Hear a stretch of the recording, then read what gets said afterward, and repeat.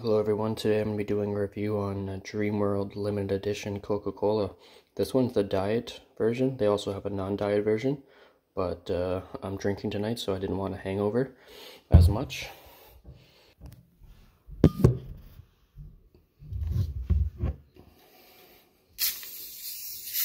This is how I usually do shotgun videos. But uh, yeah, it smells very fruity. Not like normal Coca-Cola.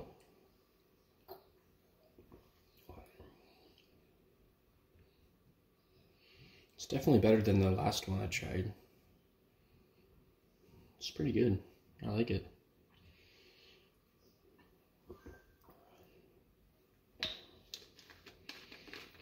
Seven and a half.